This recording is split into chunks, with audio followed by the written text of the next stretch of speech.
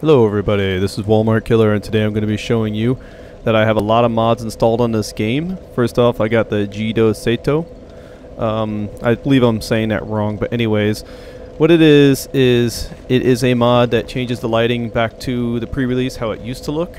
And so I have that. As you also see, I have the Sunny D bottle right there. Also, if you notice, I also got a mod on here which makes the menu transparent, as you can see and it also puts little numbers up for everything. Uh, even though I got all the everything memorized, but it puts little numbers up so that you can um, better understand the perimeters and everything that you have going in the game. Uh, you don't have to look at it and do any of that crap. Oh, I believe right now I'm showing you my bra and panty mod that I have, and yeah, you can see her nips there a little bit. Um, that was just for funsies, you know, whatever. But yeah, I'm covering her back up right now.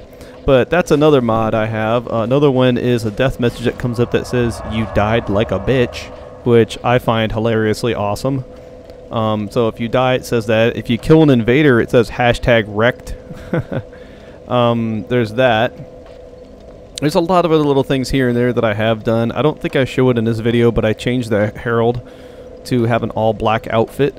So, you know, you see her all the time. She's kind of boring looking right now. I made her look different. And as you saw, that said the wrong neighborhood. Uh, I also put up another mod that did uh, comedic titles to all the areas that you go to. Like uh, Majula, instead of being Majula, is Majula Obligata or something like that. It's hilarious. And also there's a blood mod, I think it's version 2 gore text. Um, see all that blood flying out of that little zombo there, that little hollow. Uh, this is New Game Plus Plus, that's why I'm not one-shotting them with that bastard sword that's plus 10. So even those little hollows at New Game Plus Plus take a little bit of hits. And you can see I also have a transparent um, a transparent mod on. Makes it so that I can see through the messages that pop up and block fucking a, a ton of the screen. It just it ruins the game doing that, but whatever. And then showing right now just that I told you about all the mods, all I'm really doing now is just basically showing you the Ultra Great Sword. I, I want to get a retexture for the Ultra Great Sword. I think that'd be pretty sweet. Uh, maybe put WMK on the side of it. I think that'd be pretty awesome. Anybody want to do that and shoot me one, I'd be more than happy to put them in my next video. So the reason why I made this video isn't just to go, haha, look at all these cool mods you don't have. No, you can easily get these mods if you're playing on PC. The reason why I did this is I'm going to be doing more speed runs.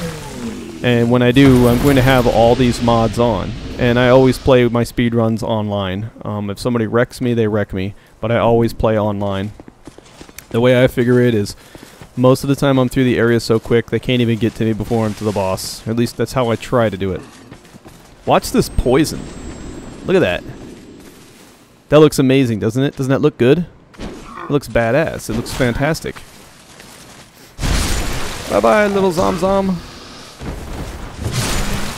But, oh, also, if you see that right there, I'm poisoned. There's that little square in the center of the screen. Rather than just show a picture of a drop of poison, uh, it says poison. Um, now, that itself is more of a, just a simple little cosmetic thing that I kind of like. I don't need it. I have all those icons memorized. I have them all memorized in the menu. But it's just helpful. But anyways, yeah. Download some of these mods, man. If you like them, check them out. And uh, peace. See you later. Bye.